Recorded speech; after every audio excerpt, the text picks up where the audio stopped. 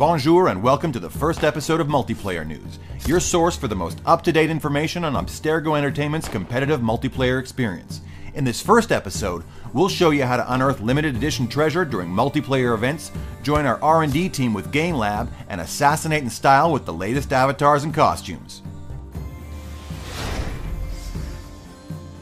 Join other fans of Abstergo in a quest for total domination during community event number 2, the Flying Dutchman, which begins Friday, November 29th. This event will post community, individual, and participation challenges to all multiplayer competitors based on the Artifact Assault game mode.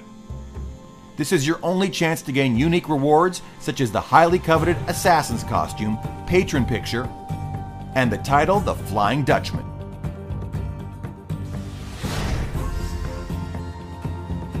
Want to work for Abstergo Entertainment where we take fun as seriously as corporate ethics? Of course you do. Try out Game Lab, a tool we use in the studio to create new modes for multiplayer. You can challenge your friends to try them out, but we'll also regularly highlight the best of the best from the public queue. To get started, enter AC4 Multiplayer and select the lab. You'll be prompted to choose from six templates, each based on one of the standard multiplayer modes. From there, you can modify over 200 parameters to create your own unique playable mode. For more information on Game Lab, check out the new multiplayer website.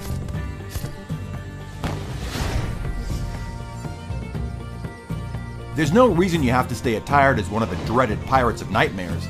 Ditch the dreary blend of browns, grays, and rum stains and try out these special and fashionable Assassin's costumes. Assassin costumes are available for free once you've completed in-game events, but can also be purchased from the Abstergo store.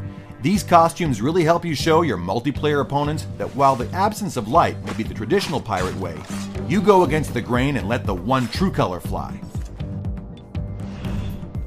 Champion packs have also made a return to multiplayer. Champion packs contain all the things you need to outfit your Abstergo avatar. They include abilities, patron pictures, and special costumes for your characters. At the request of our clients, we've introduced a rotating sale on Champion packs, ensuring that there is always a good deal available in the Abstergo store. Finally, we'd like to take a moment to honor our Assassin's Creed fans in a segment we call Community Creations.